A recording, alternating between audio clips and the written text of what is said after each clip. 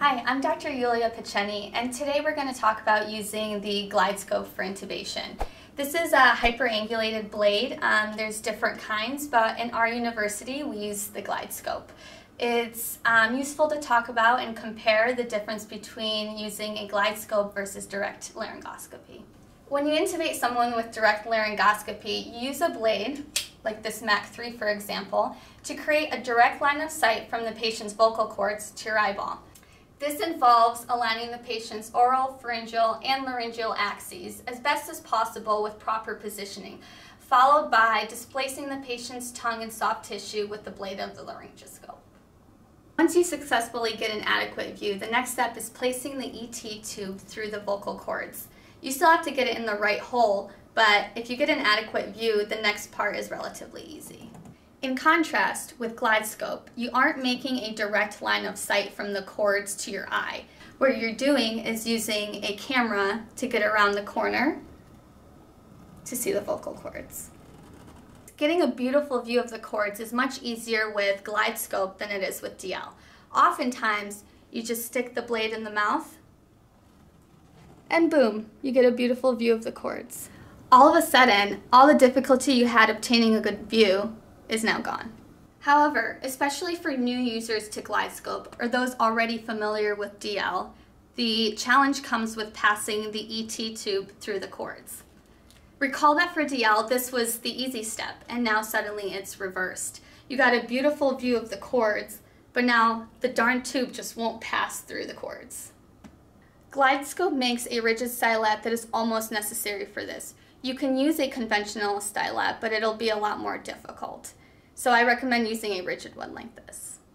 One common mistake is holding the ET tube around the midpoint in a pencil grip like this, similar to what you would do with a DL. Again, this works great for DL, but not for GlideScope. So what you want to do is you want to grip your tube all the way at the top overhand like this, so you can glide the tip anteriorly and pop the stylet, which is important that we will later discuss. Once you place the tip of the ET tube into the cords, you'll find that a lot of times you'll meet resistance. This is because the tip of the tube is now trying to go into the anterior tracheal wall. Because the tip of the stylet is rigid, it is hard to have it flex down to further feed into the trachea. This is when you want to pop your stylet to soften the tip of the tube so that it can further feed into the trachea. You can see when you get through the cords, the tip of the tube is facing anteriorly towards the tracheal wall.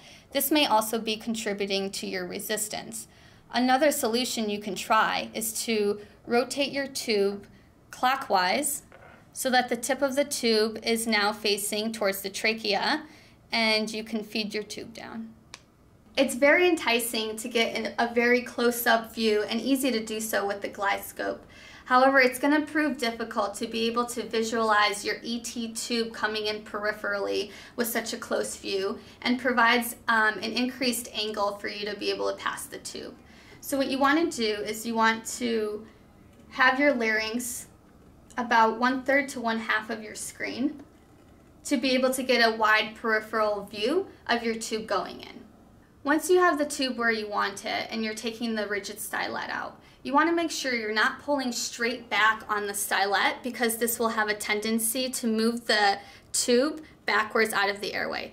So you want you want to do is you want to take the stylet out towards the feet in a natural curve out. Okay, let's go over the steps once again in detail. Scissor open the mouth. Place the blade midline on top of the tongue while looking at the mouth. Do not look at the screen yet. Once you have your blade in your mouth, then you look at the screen. Position the laryngoscope so that the larynx is in view and taking up about a third to half of the, your screen. Once you have your larynx in view, place your tube while looking at the mouth when you originally go in with an overhand grip until it's in the mouth. Now you can look at the screen. Direct the tip of the ET tube through the cords. Once you meet resistance, pop up your stylet so that you can further feed your tube into the trachea. Once you have the tube where you want it, hold the tube with your left hand, or if you have an assistant that can pull the stylet for you, grab the top of the stylet and pull it towards the patient's feet so that your hand ends up on their chest. You should have seen the ET tube pass through the cords, but make sure you also confirm placement with capnography and auscultations. That is GlideScope intubation. Thanks for watching.